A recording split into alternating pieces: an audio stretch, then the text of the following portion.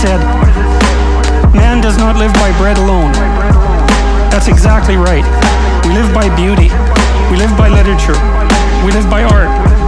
And literally, not metaphorically.